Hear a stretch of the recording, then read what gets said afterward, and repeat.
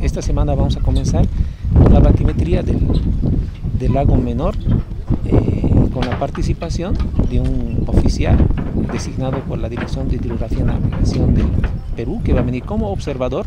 Vamos a tener todas las profundidades que tiene el lago Titicaca para hacer una actualización.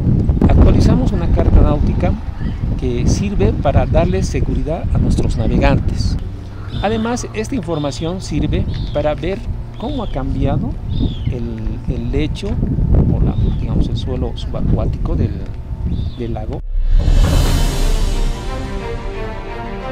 Esta es la pantalla principal, es la pantalla digamos, interactiva donde nos muestran los datos de profundidad.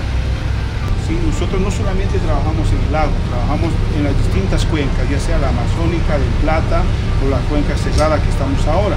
Nosotros actualmente, una de nuestras capacidades como servicio es poder hacer un levantamiento en el mar, podemos hacerlo. Donde vamos a trabajar en el territorio boliviano, en el lago menor. Una vez que terminamos el lago menor en estos 20 días, vamos a pasar a hacer las tres siguientes fases en el lago mayor por la magnitud de este espejo de agua. Teniendo una altura, sabemos el volumen. Tenemos otra altura o profundidad y tenemos otro volumen y otra superficie del lago. Una vez que sean terminadas de unir entre los dos países, esta información va a estar disponible en el Servicio Nacional de Hidrografía Naval para su venta y distribución.